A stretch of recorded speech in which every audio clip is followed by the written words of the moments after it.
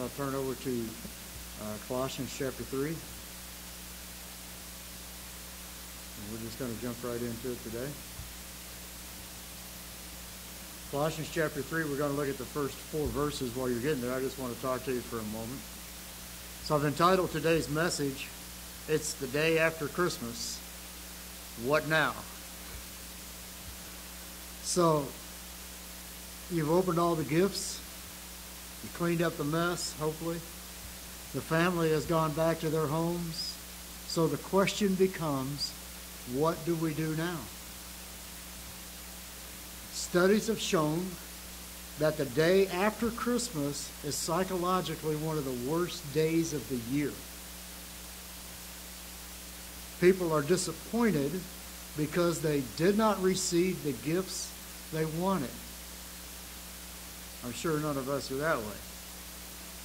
Family has left, and there's a feeling of emptiness. The house is quiet. a huge factor in this problem is all the hype leading up to the day, and then the day doesn't live up to the hype.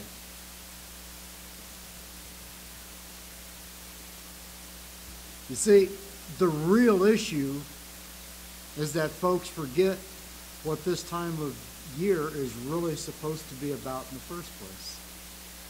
So we get all hyped up about the presents, about the decorations, about all this stuff. We get the focus on ourselves instead of on Jesus.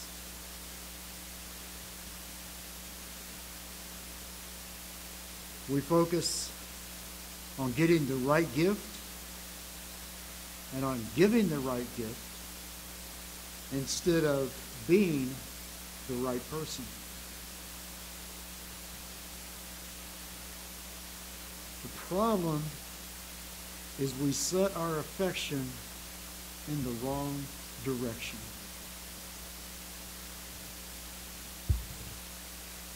But the good news is you're here today. And today, I am a good news preacher, all right? I'm not going to be a Debbie Downer like I was before. You say, sure, Pastor. no, really. I am, I am going to be a good news preacher today. And I'm going to help you to reset your affection in the right direction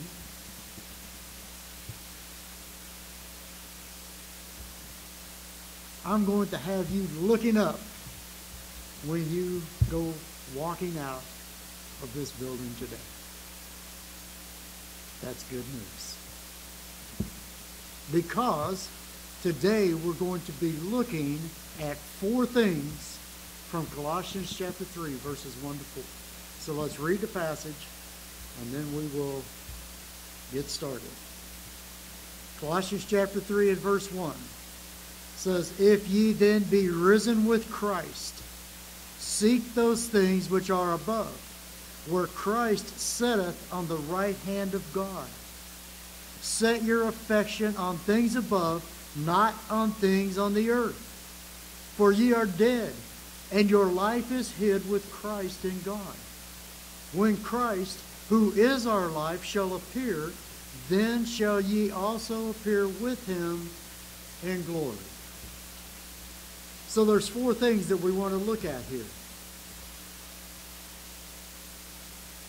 That we need to get in our hearts that will help us to focus, that will help us to set our affection in the right direction. There's actually just four words. Just four words. Seek, set, see, and celebrate. Seek those things which are above. Set your affections, your affection, singular, not affections, affection on things above. See your present life the way God does, and celebrate your future its royalties.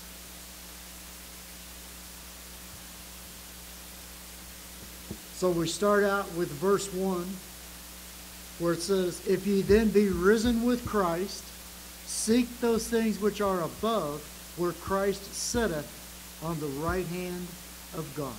Let's pray. Heavenly Father, Lord, we do love you. Father, we do thank you for loving us. Father, I thank you this morning, Lord, for this passage of Scripture here that we're about to break into. And Father, I pray that you would open all of our hearts, open all of our minds, Lord. Help us to see what you have for us this morning. And Father, I pray that as your word goes out, Lord, that it would go out with power and with authority. And Father God, I pray that Jesus Christ is lifted up and glorified in everything that is said here this morning. And that he gets all the praise, all the honor, and all the glory. For it's in Jesus' name we pray. Amen. So verse 1 says, Seek those things which are above. So what are those things that we need to be seeking? The first thing that comes to my mind is the throne of God. That speaks of our relationship. Look with me, if you would, in Hebrews chapter 4. Hebrews chapter 4. We're going to look at verses 14 through 16. Hebrews chapter 4, verses 14 through 16. Where it says, then that we have a great high priest that is passed into the heavens, Jesus, the Son of God, let us hold fast our profession. For we have not an high priest which cannot be touched with the feeling of our infirmities, but was in all points tempted like as we are, yet without sin. Look at verse 16. Let us therefore come boldly unto the throne of grace, that we may obtain mercy and find grace to help in time of need. Come boldly to the throne of grace. Seek those things which are above. Another of those things that are above is our future dwelling place. Look with me in John chapter 14. I know I forgot to mention to you, you're going to be looking at a lot of scripture this morning, so there's your warning. John chapter 14. verses 1 to 4. Very familiar passage of Scripture. John chapter 14 and verse 1 says, Let not your heart be troubled. You believe in God, believe also in me. Look at verse 2. In my Father's house are many mansions. If it were not so, I would have told you. I go to prepare a place for you. And if I go and prepare a place for you, I will come again and receive you unto myself, that where I am, there ye may be also.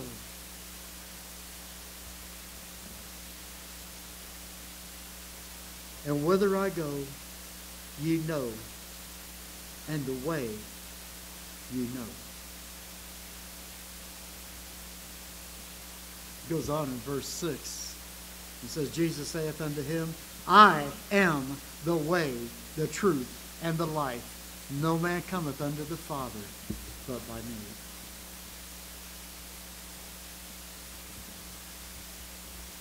We have a future dwelling place in the Father's house. I want you to notice in verse 2 that Jesus says, In my Father's house are many mansions. And then he says, I go to prepare a place for you. And so I hear people all the time say, man, it's a good thing that Jesus was a carpenter's son because he's going to heaven and build me a home. No, he's not. Your home's already built.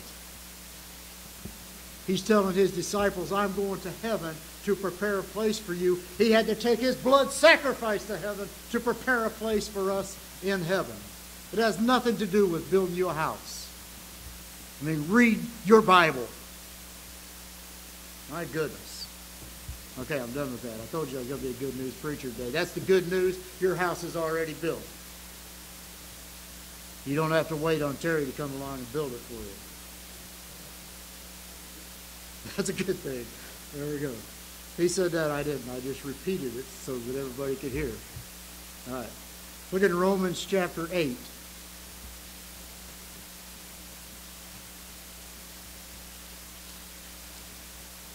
Romans chapter 8, verses 14 and 15.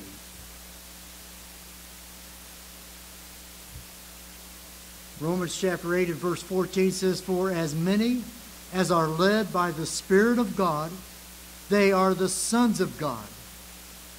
For ye have not received the spirit of bondage again to fear, but ye have received the spirit of adoption, whereby we cry, Abba, Father.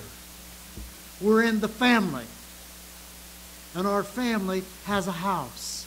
And in the house, there's many mansions. And our Father is on the throne. And so's our Redeemer, Christ Jesus our Lord. We need to set our affection on things above. We need to seek those things which are above. Do you know? I know most of you do because I've said this before. I'm, to, I'm going to show it to you. Go to Revelation chapter 21.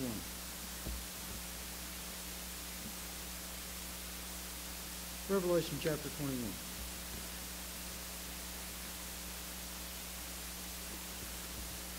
Verse 27.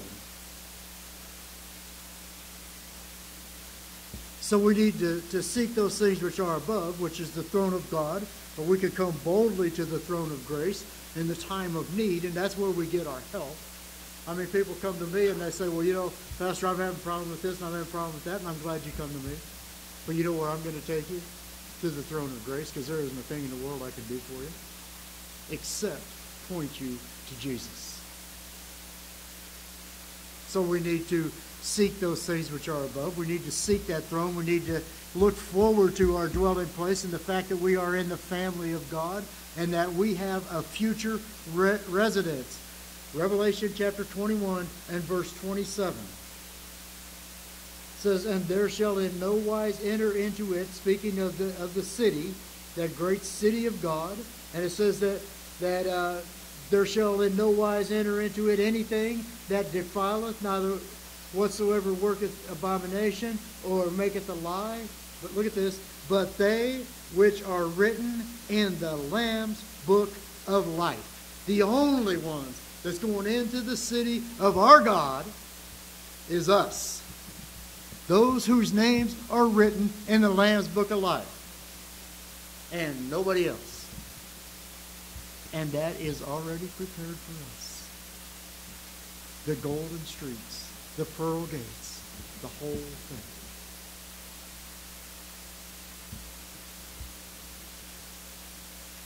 We need to seek those things which are above. See, those things, in my mind, are, are pretty exciting. I mean, we seek after promotions at work. You know what promotions at work do for you? They get you more work. Exactly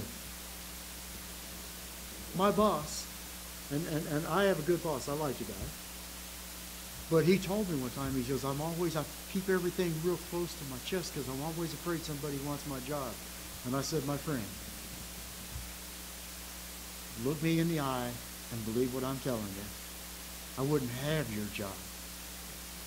I want mine, and I'm going to do everything I can to do my job the best I can to help you do your job. I wouldn't have your job relax. And I meant it with all my heart.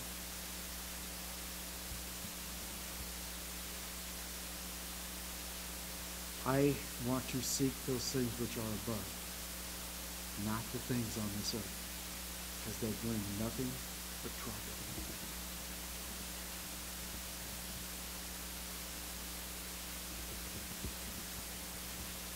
And so I find it pretty exciting that the Bible tells us to seek those things. And it tells us what some of those things are. And it tells us that it's what our Father desires for us.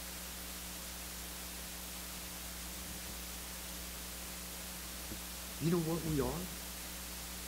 In reality, we are trust fund babies. Oh, yes, we are. We put our trust, listen to me, we put our trust in Jesus Christ. We become joint heirs with Jesus Christ. And the Bible says that God has put all things under his feet. He's possessor of heaven and earth. We are trust fund babies if we put our trust in the right place. I thought sure I'd get an amen out of that. So verse 1 says, Seek those things which are above.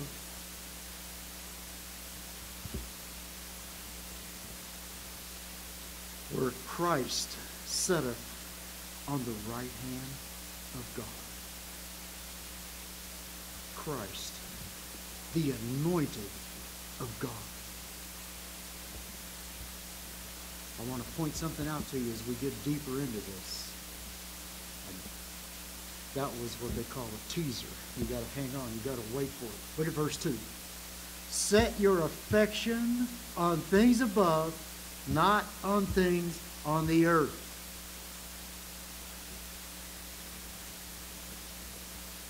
If you're seeking those things which are above, should not your affection already be set?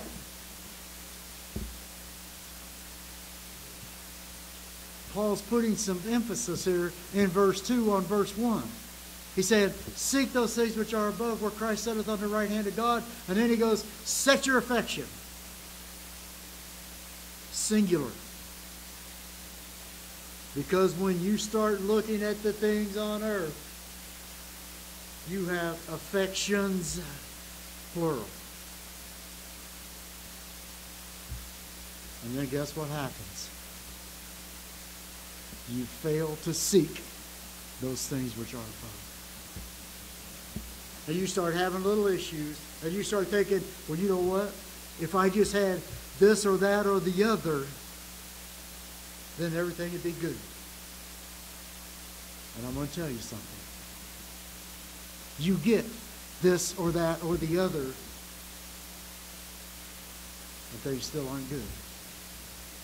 Because you got your affection set in the wrong direction.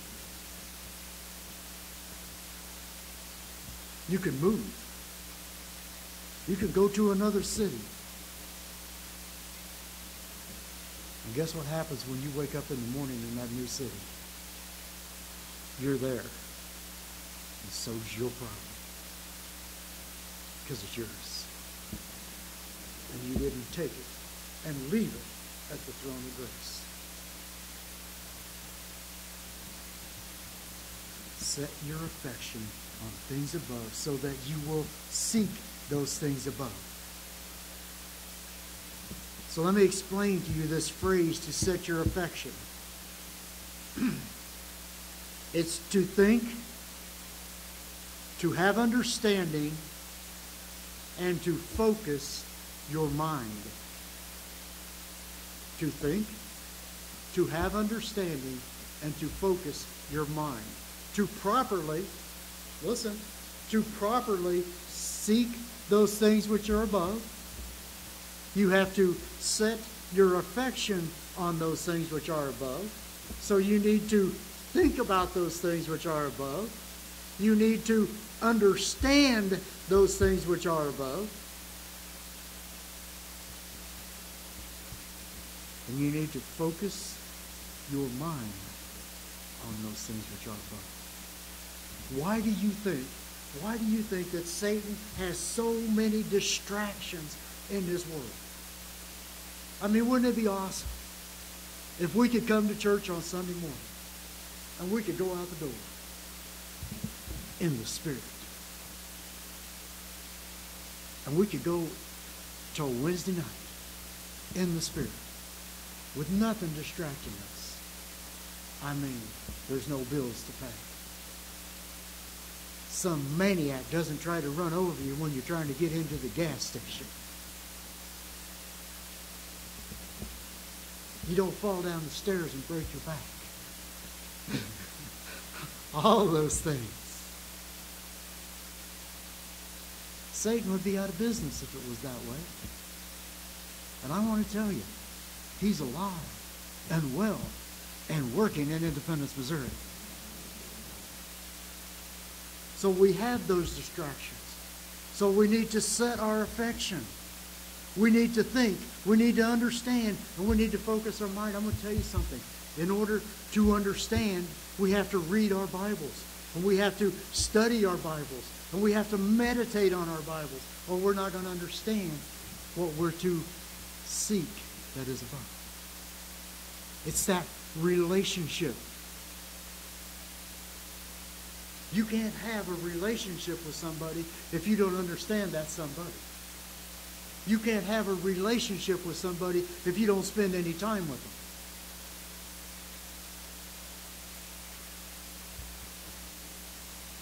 You're not going to have a relationship with somebody if you don't think about them every now and then.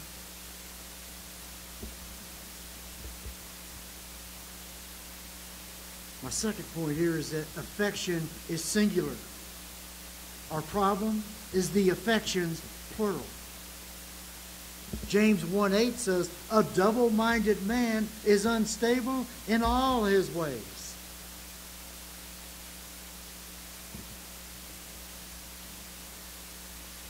Let me give you an example. A young man begins to seek a wife. He's seeking amongst all the girls. I guess they still do that. And then suddenly, little Miss Right shows up. Now, now he sets his affection on only one of all those girls. The dude becomes focused. He becomes single-minded. He set his affection and he's seeking after that woman with everything he's got. You know what? That's the same way that God wants us to be with him. He wants to be the only one.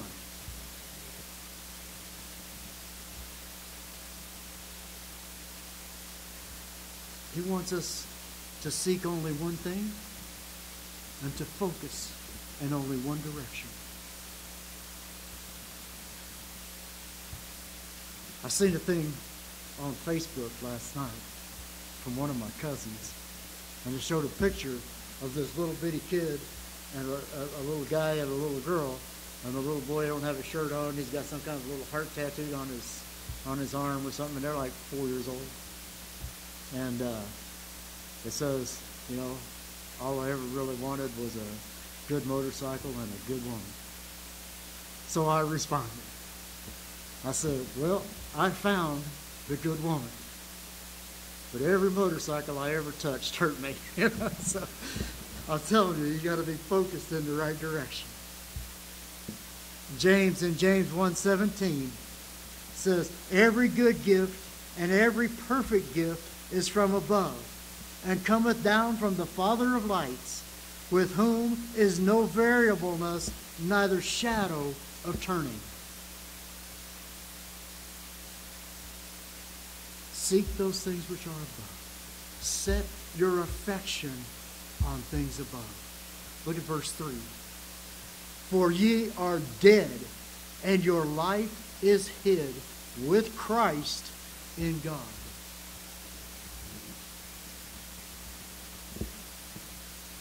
So you're seeking, you're setting, and now you're seeing your position, your present life the way God sees it.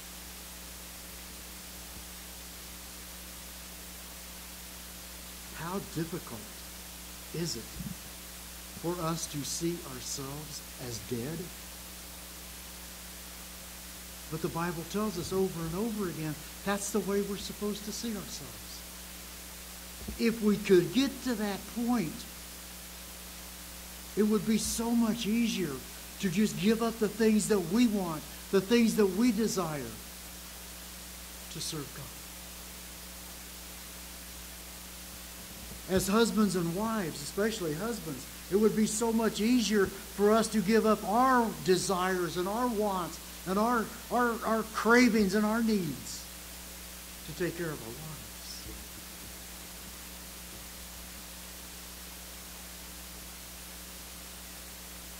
God sees us as dead, and he tells us to see ourselves as dead in this present world.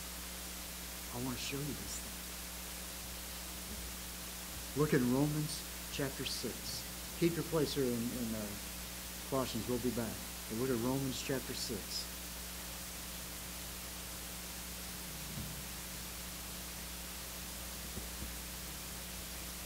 We'll look at the first seven verses.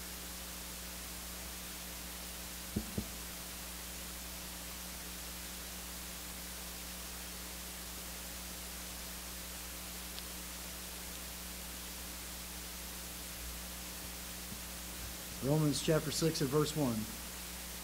What shall we say then? Shall we continue in sin that grace may abound? God forbid. How shall we that are dead to sin live any longer therein? Know ye not that so many of us, as were baptized into Jesus Christ, we were baptized, I'm sorry, there's no we in there. Let me start over. Know ye not that so many of us, as were baptized into Jesus Christ, were baptized into his death. Therefore, we are buried with him by baptism into death, that like as Christ was raised from the dead by the glory of the Father, even so we also should walk in newness of life. For if we have been planted together in the likeness of his death, we shall be also in the likeness of his resurrection. Knowing this, that our old man is crucified with him, that the body of sin might be destroyed, that henceforth we should not serve sin. Verse 7 For he that is dead is freed from sin. That's the way we should see ourselves. We should see ourselves as do you know that's what you do when you accept Jesus Christ as your Savior? You are accepting His death, His burial, and His resurrection as your own. He went to the cross for you and for me. That's what Romans chapter 6 is all about. And it talks about being baptized into Him. At the moment that you accepted Jesus Christ as your Lord and your Savior, you were baptized into His death. Water baptism, the thing that we do back here, the water baptism is simply your public testimony of what has already happened to you. It has absolutely nothing to do with your salvation. It's a public testimony. You were baptized into Jesus Christ at the moment of salvation. And we need to see ourselves as partakers of his death. Because that's our God we're going we're going to build on this. We are alive to God in Christ. You should still be in Romans chapter 6. Look at verse 11.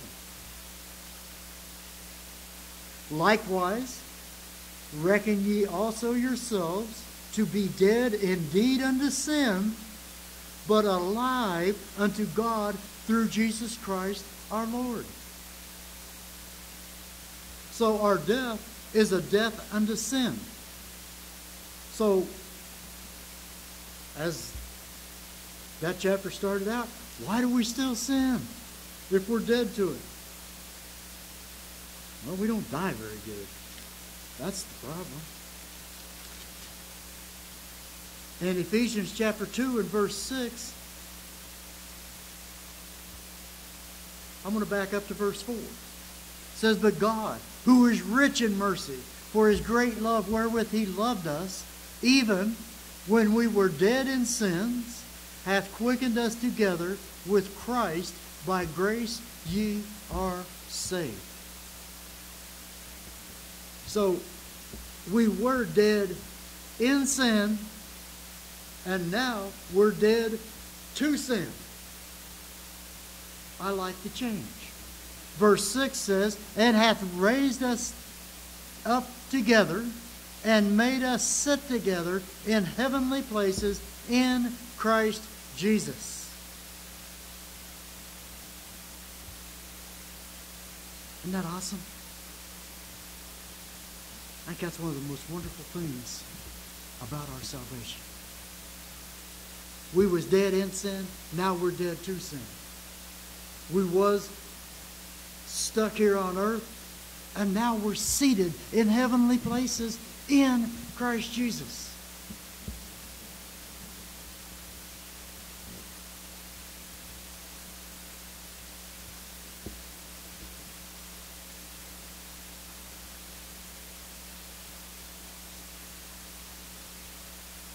Go to Colossians chapter 2.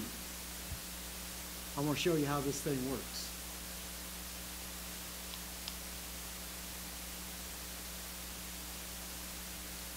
Colossians chapter 2, verses 8 through 12.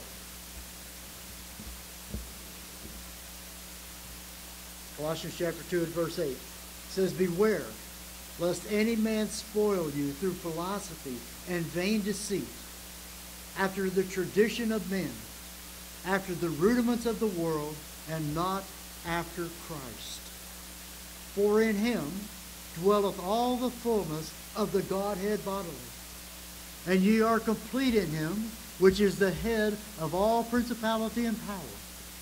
In whom also, watch this, verse 11, in whom also ye are circumcised with the circumcision made without hands, in putting off the body of the sins of the flesh by the circumcision of Christ. Verse 12. Buried with him in baptism wherein also ye are risen with him through the faith of the operation of God, who hath raised him from the dead.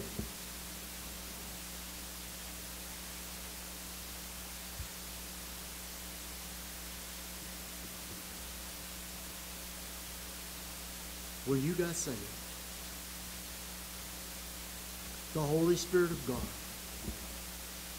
Christ Himself came and inhabited your soul and your spirit. And performed a circumcision that was made without hands. That's why Paul says over there in Romans chapter 7 For I know that in me, that is in my flesh, dwelleth no good thing. You want to know why you can't die to your sin? Because you still had your flesh. That's our problem, folks. But we've been circumcised. The, the real me, the real you, the real believer is sinless and perfected. Because of the circumcision of Christ, made without hands. The flesh is dead, but the spirit is life. Ephesians chapter 1 and verse 13. Ephesians chapter 1 and verse 13.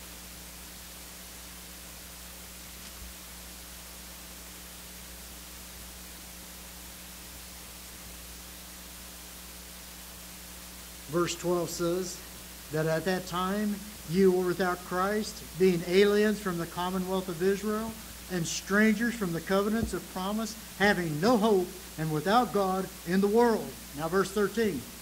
But now in Christ Jesus, ye who sometimes were uh, far off are made nigh by the blood of Christ, for he is our peace. Verse 14. For he is our peace, who hath made both one and hath broken down the middle wall of partition between us We are one in Christ.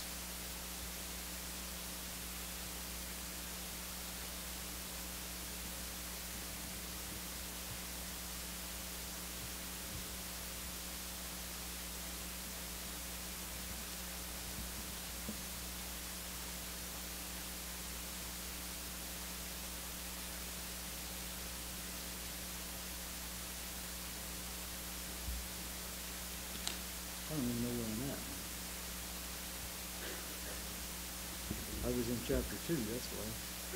Go to chapter one, let's read the right thing. that messed me all up. All right. Okay, let's go to chapter 1 and verse 12, like I said. that we should be to the praise of his glory who first, okay, here we go, yeah, this is reading right, who first trusted in Christ, in whom ye also trusted, after that ye heard the word of truth, the gospel of your salvation, in whom also, after that ye believed, this is what I was looking for, after that ye believed, you were sealed with that Holy Spirit of promise. See how much better it works when you get in the right chapter? Man, I'm telling you. All right, go to chapter 4. I'll get it right this time. Chapter 4, and look at verse 30.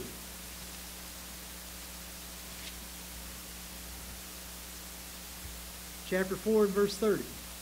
And grieve not the Holy Spirit of God, whereby ye are sealed unto the day of redemption.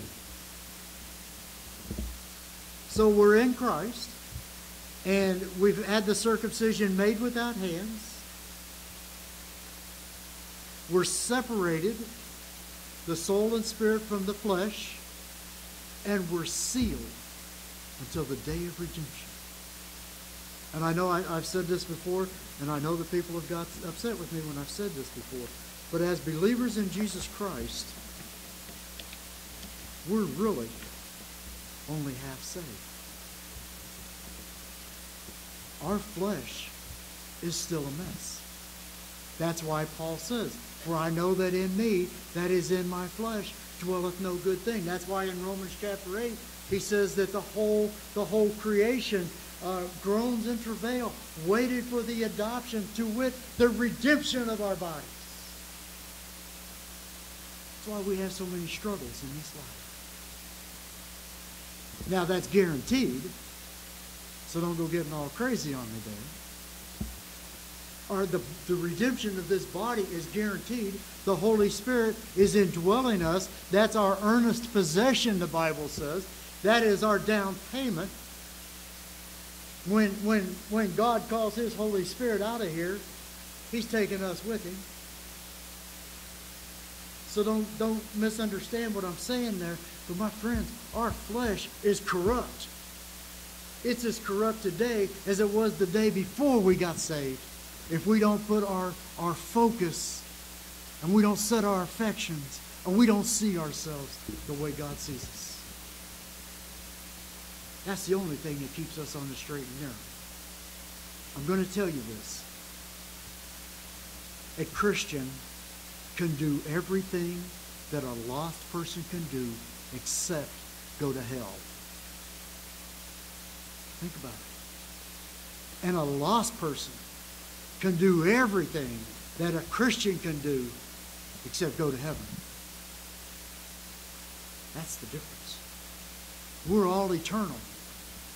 It's our eternal destination that makes the difference. You can do all the good works as a lost person or as a saved person. As a saved person, there's reward. As a lost person, there's nothing.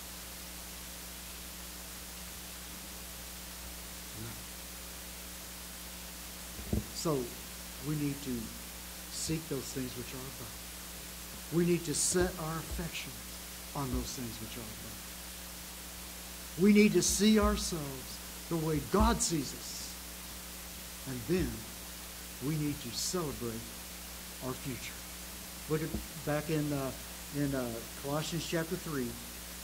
Look at verse four. When Christ, who is our life, shall appear, then shall ye also appear with him in glory. Do you understand that? We've been talking a lot about the fact that we're dead, our flesh. But we're alive in Christ. Why? That verse just told you because Christ is our life. That's where our focus needs to be. We're going to be with Jesus forever. The stuff on this earth is temporal.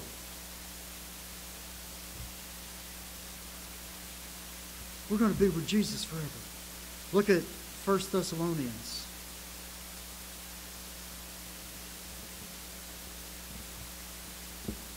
Chapter 4.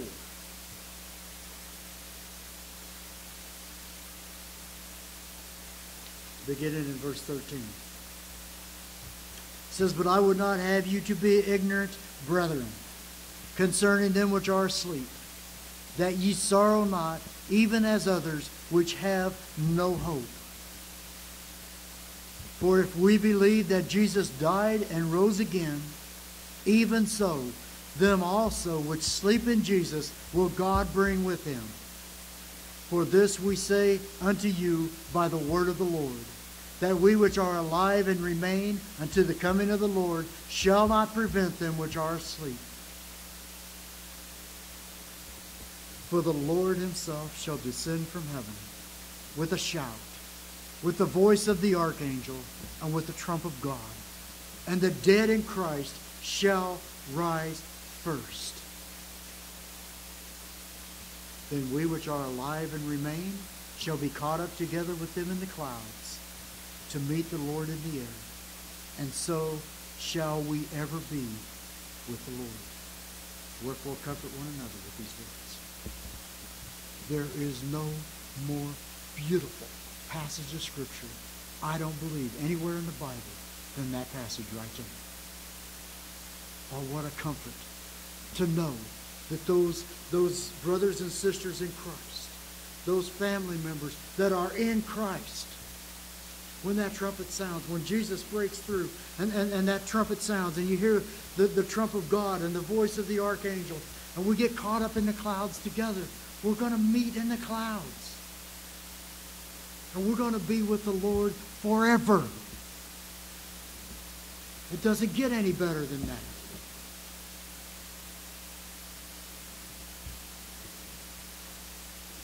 That's a promise of God.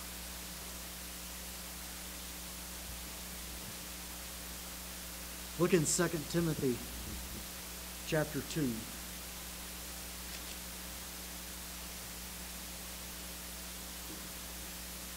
Second Timothy chapter 2 verses 11 through 13.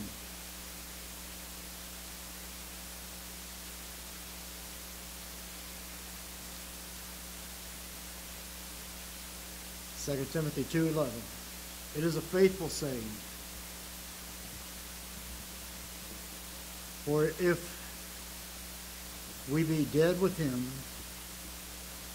we shall also live with him. If we suffer, we shall also reign with him. If we deny him, he also will deny us. If we believe not, yet he abideth faithful, he cannot deny himself. Folks, we have a glorious future. But that glorious future can be even more glorious. Look at what it says. Verse 12. If we suffer, we shall also reign with him. Same verse. If we deny him, he also will deny us. Has nothing, get this down, has nothing whatsoever to do with your salvation. The very next verse says, If we believe not, yet he abideth faithful, he cannot deny himself. If you are a believer in Jesus Christ, where are you? You're in Christ. He cannot deny himself, but he can certainly deny your reign if we refuse to suffer with him. He says, ah, I don't believe that. Well, go to Romans chapter 8. I knew he was going to say that.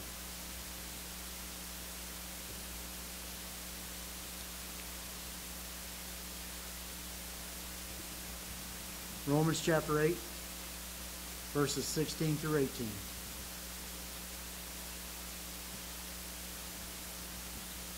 The Spirit itself beareth witness with our spirit that we are the children of God. We like that one, don't we? Verse 17. And if children, then heirs of God, and joint heirs with Christ, if so be that we suffer with him, that we may be also glorified together. Man, there's that suffering thing again.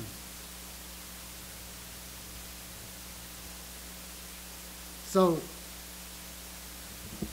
Jesus goes to the cross and he suffered our sin upon him, and we have the audacity to think that we should live in him and suffer nothing for him. It's crazy. It's crazy. And then we're going to get to heaven having done nothing on earth, and we're going to get to heaven and we're going to reign with him. You better read your Bible. That's not going to happen. I'll tell you something else. Look at this verse again, verse 17 of Romans 8. And if children, then heirs of God, and joint heirs with Christ. Now, my Bible says, if. If. So be that we suffer with him. So we're not asked to suffer alone. He's in us. When we're suffering, we're suffering with him. But I'm going to tell you something. Look at what this verse says. Look at what it says. If so be that we suffer with him, look at this, that we may be also glorified together. Oh, you want the glory. You want the reign. But let me get out my penknife and cut out this suffering thing because we don't want that. I want to tell you something. You are not going to have the reign. I am not going to have the reign. We are not going to have the reign. We are not going to have the glory if we won't do the suffering. If we do, then God's a liar. And my Bible very clearly says that God cannot lie.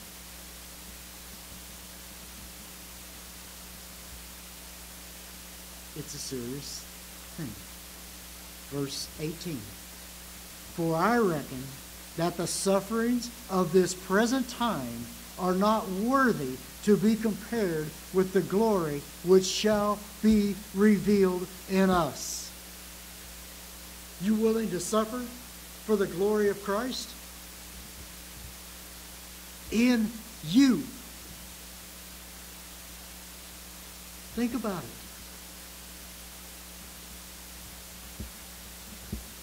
I had a guy tell me the other day, he goes, Well, you know, you're, you, you just have that easy, easy believism. I said, Oh, no, I don't. I believe that salvation is very easy. You believe the Word of God. My friend, the Christian life, if it's easy, you ain't living it.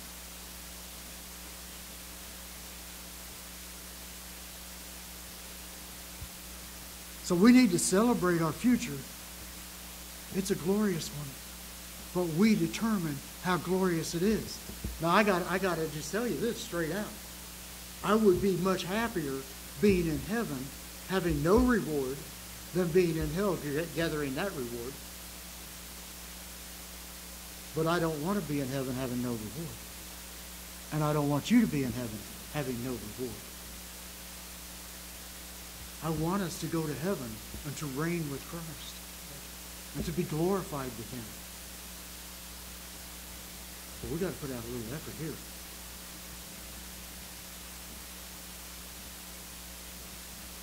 Let's wrap this thing up. I'm going long. So you see, folks, in Jesus, we have everything.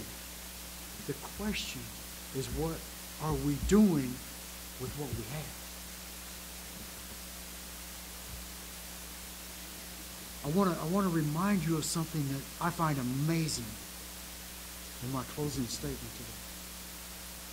Ephesians chapter 1 and verse 3 says, Blessed be the God and Father of our Lord Jesus Christ, who hath, past tense, who hath blessed us with all spiritual blessing in heavenly places in Christ. I want to stop right there for just a moment because I told you I was going to give you a little tidbit this morning. In our passage of Scripture, Colossians chapter 3, verses 1 to 4, there's not one time where you see the name Jesus. It's Christ. It's Christ. It's Christ. Here's why. Jesus is the name of the man that came and died on the cross for you and me. Christ is the anointed of God. If Jesus, now, now listen, this is important. This is important Bible doctrine to understand. If Jesus doesn't fulfill totally everything that God sent him to do, he is not the Christ. If he is not the Christ, we are not seated in heavenly places in Christ Jesus. We have to keep our doctrine straight. Jesus could have denied the Father. He didn't, and he wouldn't, and God knew he wouldn't. But he wasn't the Christ until he fulfilled everything. Now he's the Christ. He's the anointed of God. Matthew chapter 28. This one just came into my head, so I got to I got to find it. Matthew chapter 28.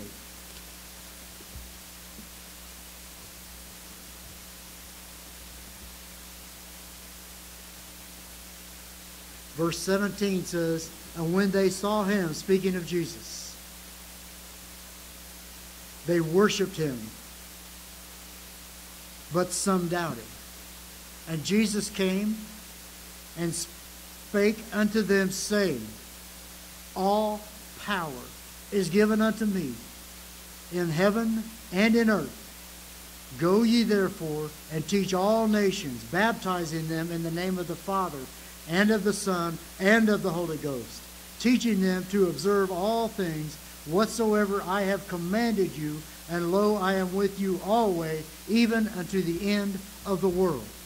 When Jesus came back, after he went to heaven and prepared a place for us, he come back and he said, All power is given unto me. I'm the Christ. I'm the anointed of God. I'm on my I'm going to be on my throne in heaven. Now you can come boldly to the throne of grace. Keep it straight. We're seated in heavenly places in Christ. We're the children of God in Christ. See, you and I got everything at the moment of salvation. God held back nothing from us. It's like Terry was showing Ollie this morning. He went down to give him the gift, and I was sitting back in the back. I couldn't see what it was. And then he kept pulling out more stuff and giving it to me. That was a good picture of what God did for us. He gave us everything. Not just our redemption, not just our justification. He gave us everything.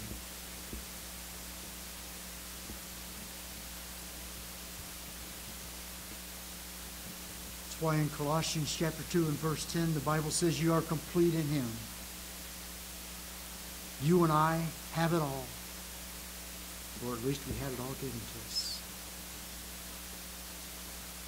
But see, in 1 Corinthians chapter 3 and verse 15, the Bible says, If any man's work shall be burned, he shall suffer loss. But he himself shall be saved, yet so as by fire. Your works might get burned up, but you're not going to. Amen. And praise God for that.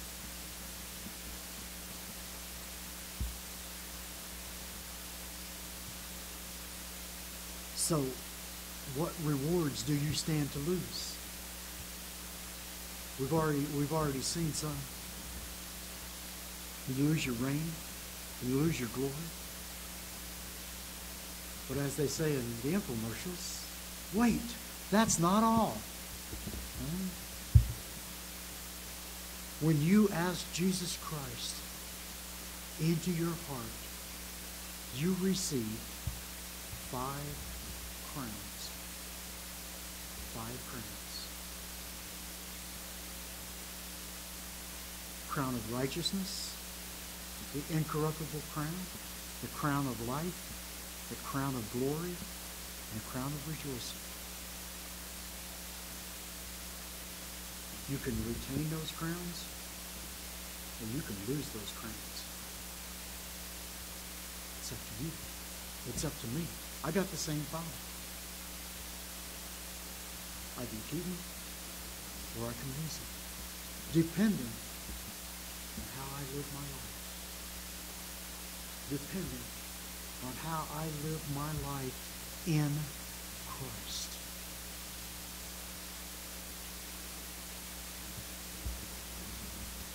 Seek those things which are above. Set your affection on things above. Wouldn't it be a shame to have everything and lose it?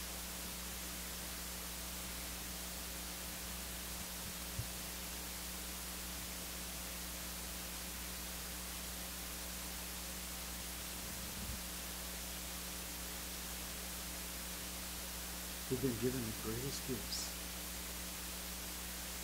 from our Heavenly Father. We need to hold on to them. We need to cherish those things.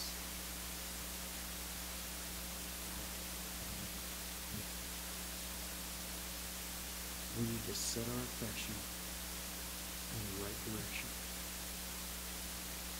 Set our affection on things above, not on things on the earth. Where Christ sitteth on the right hand of the Father. Isn't it funny that we're told to do that? Even though, in reality, we are seated in heavenly places in Christ Jesus. Think about it. Why do we have to be told to have our affection, to have our, our heart set on God when we're seated at the throne of God? I'll tell you why, because we don't understand it. We don't grasp what God has done for us. And I know that there's probably some that are hearing this message and they've never accepted Jesus Christ and that offer of salvation, God's invitation into his family.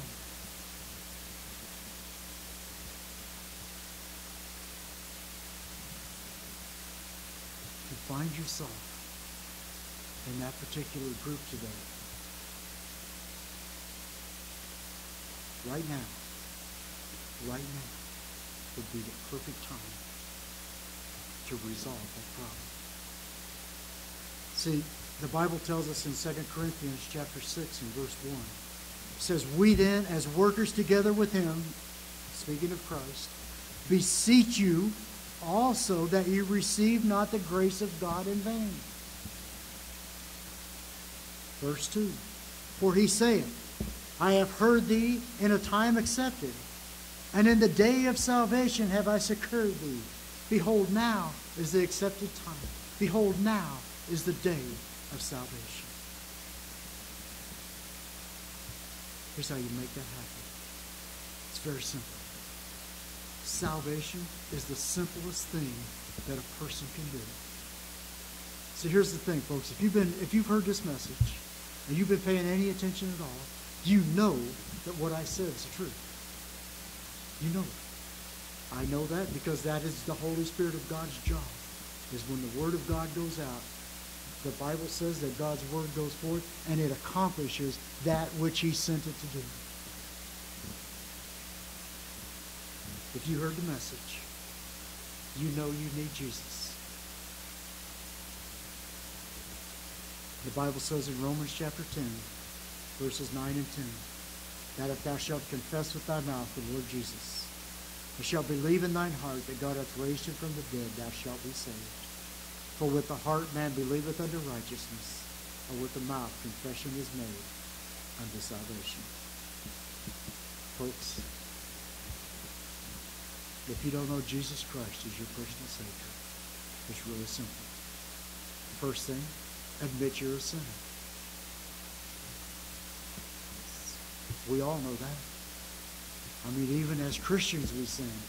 So you know that without Jesus, you're a sinner. The wages of sin is death, but the gift of God is eternal life through Jesus Christ our Lord. So admit you're a sinner, in need of a Savior. And then just call on Jesus. So I know I'm a sinner. I repent of my sin, and I want you to come into my heart into my life and save me right now. It's that simple, folks. And don't think, don't be listening to this and, and, and watching this and say, well, you don't know what I've done. I don't care what you've done. I know what Paul had done. And God saved him and used him mightily. I will tell you something else. I know what I have done. And God saved me. And he's using me. And I know something else. The Bible says in that same chapter, Romans chapter 10 and verse 13, it says, For whosoever shall call upon the name of the Lord shall be saved. It doesn't have anything to do with what you've done. It has everything to do with what you do right now. Ask Jesus into your heart. Confess your sin to him. Repent of your sin. Repentance, people get all tied up on it, but it's a very simple thing. It's simply a change of direction. Change your direction. Quit following Satan. Start following Jesus. It's that easy. Christians, we need to be praying. We're wrapping up the year here as a church. We're going into next year and I'm working on next year. God has been working with me on next year. After the first of the year, we will have a time of enlightenment, if you will. I'm going to share the vision for the upcoming year and where we're going as a church. And uh, we will move forward from there. But between now and then, we have a responsibility. We have the responsibility to take the word of Christ to a lost and dying world. We have the responsibility to suffer for Jesus. If we won't, we cannot expect to him. Let's pray. Heavenly Father, Lord, we do love you. Father, we do thank you for loving us. Father, I thank you for this passage in Colossians chapter 3. Lord, what, a, what an awesome passage to get us to set our focus, to look in the right direction, to set our affection, to seek those things which are above, to see ourselves the way that you see us, Lord. And Father, to understand to understand the glory, the glory that we have in Jesus Christ. And oh Lord, the glory that we can have if we just apply ourselves to living the godly life that you saved us to live. Help us, Lord, to be faithful. Help us that when we come to the judgment seat of Christ, that we will hear, well done, thou good and faithful servant. Lord, we love you. We thank you for loving us. Father, I thank you for sending Jesus. Lord, in this time of the year, we've been celebrating his birth. Father, that birth had to take place to fulfill Scripture. It had to take place so that he could live a life, a sinless and perfect life, so that he could go to the cross and take my sin and the sin of the whole world to the cross with him and crucify with me. Oh God, we thank you so much for that. Lord, I just pray that we will not lose our focus, that we will understand the meaning that we have established on this time of the year, not knowing when he was born, but Lord God, knowing for sure that he was born. Help us to be faithful. We pray in Jesus' name. Amen.